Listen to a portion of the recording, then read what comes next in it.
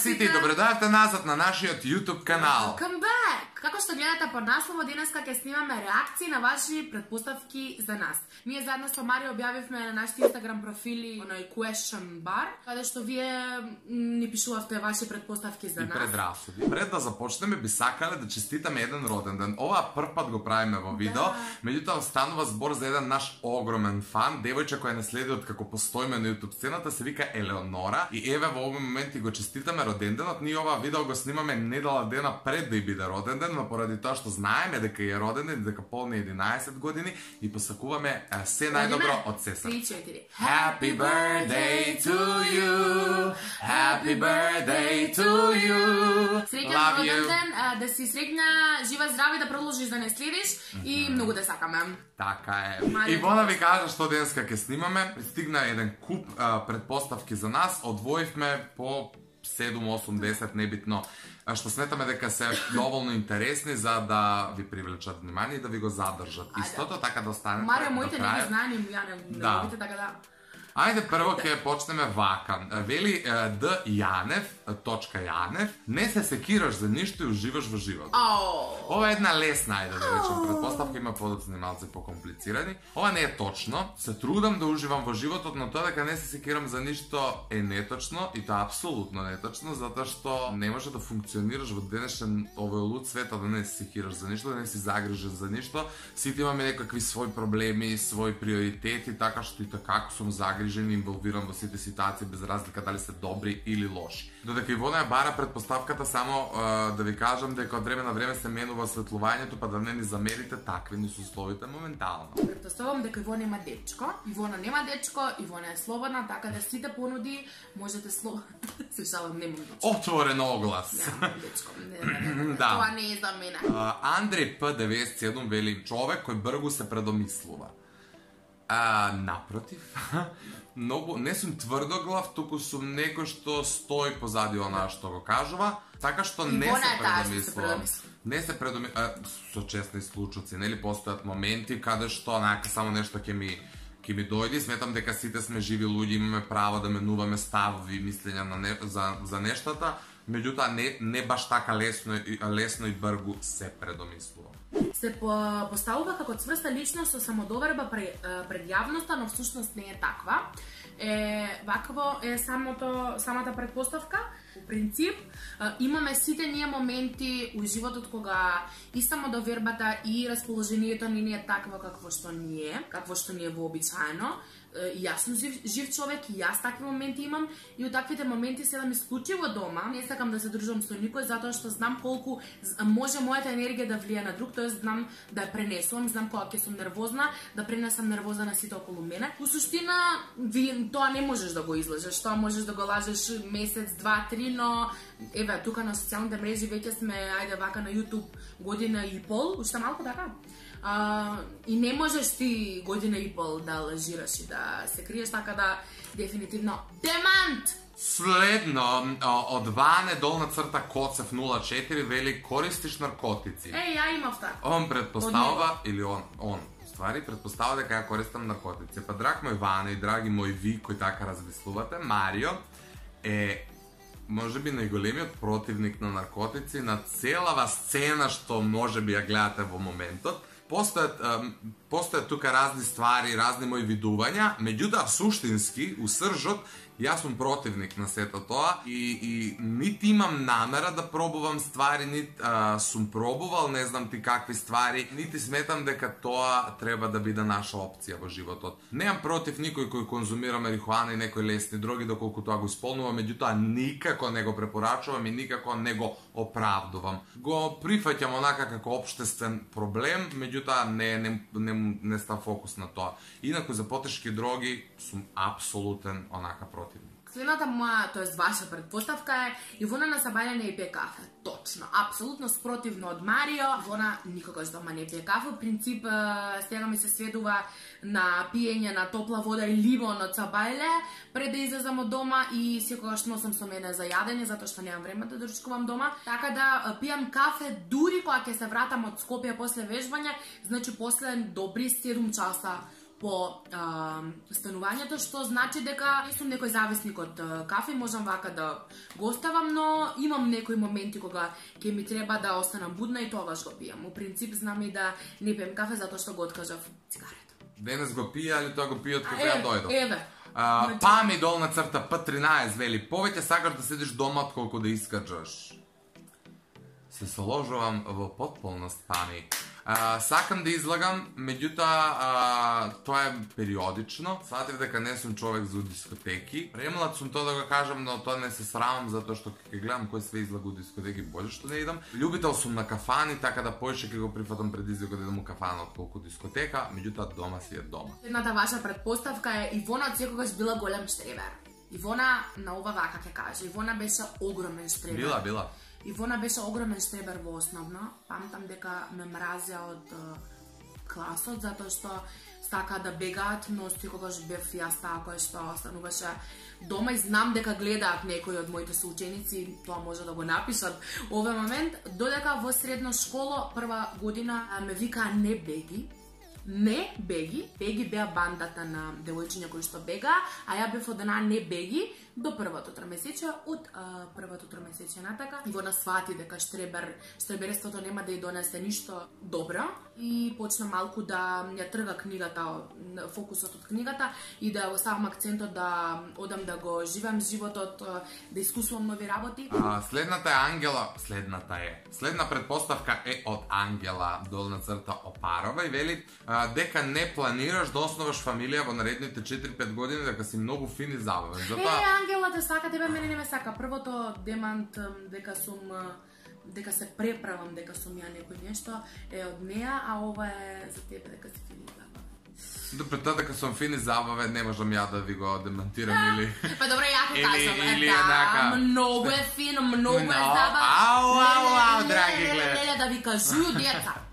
Ne, šala na stranu ti blagodarom za, za to što takav me doživaš. Međutim, što ne sad do, do osnovanja familije i takve stvari, imam 23 godine. Stavi 5 godina na to, to sa 28 godina. Ne, never say never, ali у овој момент ниту чувствувам потреба да основам фамилија, ниту чувствувам потреба се заробам. И дека си А, способен.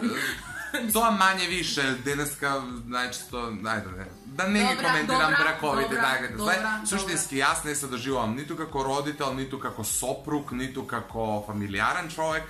Сакам авантури, сакам да патувам, сакам да работам, да заработам, да живеам, да, излу, да се излудувам. А за тоа мислам дека нема нема некакво онака соодветно време кога ќе се случи, ќе се случи озведлување брат. се зна, е, го знаете оној момент а, кога ја цртавме рекичката, па кога цртавме некои дрвценца таму кој колку јас секогаш пишував пишував 27 години дека сакам. Не, не, не, не, не, имаше една игра, нешто као рекичка, па кутичка, па во кутичката пишуваш 20 Ти си луда. Не сум луда. Напиште кој знае за кутички, Да, рекички, еве и ја пишувавме не знам. броеви на деца од една страна, у еден агол од коцката на кукичката, од друга, нели, кукичка, кукичка нели вака се црта. И се на оваа страна пишуваш број на а, деца кои сакаш да ги имаш, на оваа страна години на кои што сакаш да оставаш и тоа? нешто таму река, нешто поп, нешто плива. Попрек! Не, Удавијата попрек, ајде.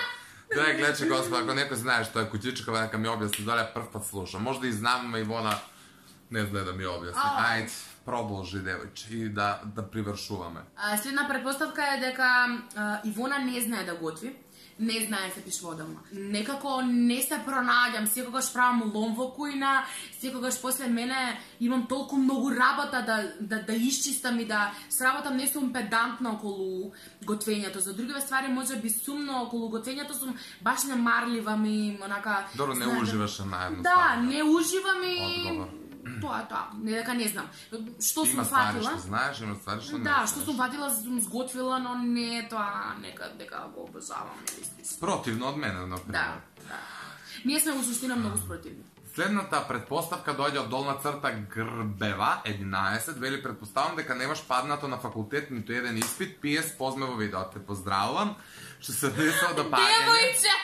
Јас сум студент кој а, баш а, вчера си го отворив а, електронскиот систем, а, да, пред да дипломирам официјално, просекот ми е 8, ова прв пат го соопштувам јавно. Тоа е сосема солидно за државен факултет и вонреден студент. Одлично, а не. А, така што јас сум задоволен сума сумарум, меѓутоа моето патешествие е многу долго и можам цело едно сторитен видео да направам однос на факултетот и студиите. Откако ќе ја земеш дипломата? да, но откако ќе ја земам дипломата, до тогаш можам само да ви кажам дека постои еден предмет кој две години поред го презапишувам и 7 или 8 пати го полагам. На се тоа два пати влего по реалити, два семестри пропуштив, едно многу падна. А ми се смееше кога ја пад, кажав во видео дека сум паѓала 8 пати на тоа. И карма се шла ми напред. Карма вич, тра. вич. Како се јак се сеќам овој блузичко. Жута косичка, овој светло тршти, сијам, уф. Следното е од Марија Кузман, Новска вајда. Па Прочитай поглед на Марија Марија Кузман. Кузмановска вајда, Зашто вајда? Кам да? Кузман, Новска. Новска. Сигурно. А, и вели наутро се будиш со насмевка на лице. Тоа е последното и сакам вака нешто да кажам и да ви дадам еден совет затоа што. Ивона е посветена максимално моментално на и на физичкото тоа да се доведе нели во ред и сакам ментално да поработам на самата себе си и си да знаете дека ја и Марио ја следиме Сафари Духа, односно Ана Бучек и ја Ја. А лајка кој ти ја следиш Сафари Духа? Во едно видео таа вели дека треба секоја сабајле да станеме и да се прво заблагодариме на тоа што сме станале и заради тоа, тоа што е, имаме нова прилика да искусиме нешто ново. И ја откако имам повеќе време на себе да работам, се повеќе повеќе ја гледам и некако се тоа повеќе повеќе ми станува навика. Ја еднаш тоа го практикував и пошто јас сум тежок на станување и да се надоврзам на Ивона во однос на тие мотивациони говори. Мислам дека нешто гледав Ана Бучевиќ, Душан Петровиќ, Па тие така влогови нешто, да. мотивациони. И у тој момент мислам дека беше влогмас, ја требаше да станам негде многу рано да идам и сваќав дека нема време да спијам. И у еден момент светло врати се, фала, фала, фала, фала. И у еден момент а, онака станувам од спиње, сваќам дека сум неспособен за ништо, не ми се смее, ми се плаче. И само да еднаш викам, ми текна на наша го гледав пред да се легнам. Викам, добро, ај со зор, да видиме како ќе делува. Ја викам, добро јутро, радни народе! А грлово не го остави, не може да мукна, не може здраво да га, јако да се развикам. А кажи енергијата Сам се, просто и е. одме се хајпно. Да, да. Одме затоа што си бидав, би- а, стана, си стана смешен сам на себе кога почнав да, зборам во просторија кај што нема никој добро јутро, радни народе, се насмеав, станав. А не, ја не го кажувам тоа на глас. Ја си го кажувам Ау, на ја на себе. глас? Па, и, тоа ми смешно у-. И уште едно, а, и а, кога ќе легнам, се заблагодарувам за тоа искуство кое што денеска сум го поминала и се заблагодарувам на било кој, на било кој, на, на Господ, на просторија, на климава, на, На Марио. на Марио, да, да, да, на него постојано Да, заквалувам. да. Абе, цело време, Ајде ја видам на последна предпоставка за мене. А, мислам не што? Браво, имам руменило. Браво, Ици, успеа у животот, не ми го размачкуве, фала.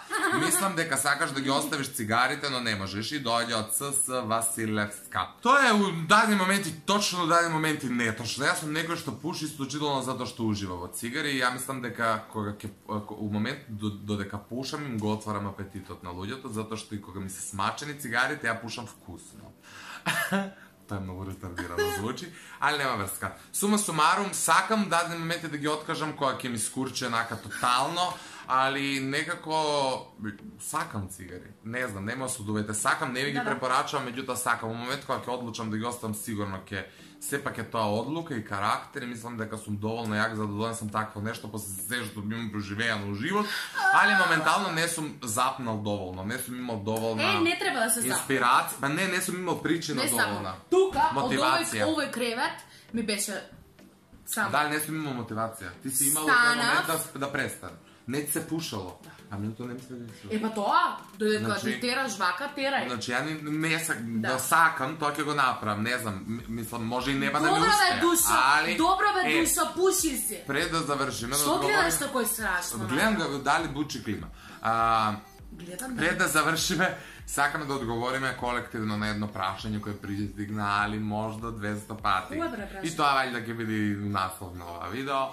Дали сте во врска? Вие сите предпоставувате дека јас сум заљубен у Ивона, она не е у мене. Па она е заљубен у мене, а ја не сум у неја. Има, па мислам дека па ти си лудов влюбена во Марио, а тој не сака ни да те погледне. Порке?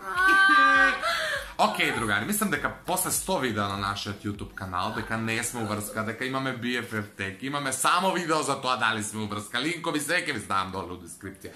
Ве молам, ако дојдете, ако сте нови на каналот, малце бе почачкајте нешто, гледај, малце изгуците вода и Марио во врска ли сте, на Google напишете ќе ви излезе. Ќе ви излезе. Дека Значи, не сме врска, најдобри пријатели сме од 2013 па надале. Снимаме година и пол за YouTube, се сме YouTube колеги и све, али дечко, девојка не сме, маж, жена не сме. Ако нешто се случи, ви први ќе да знаете дали ти ретардиран збориш на маска, скршена слуша ми стигнал, дали експреси за два дена ми се скрши. Ја и Марио врско не, сме. Не, Зашто? а колку години имаш? Да, ајде, с- лајкнете го видеото. Ставете subscribe, заследете ги нашите Instagram профили, а ние се гледаме во некоја следна прилика. Чао!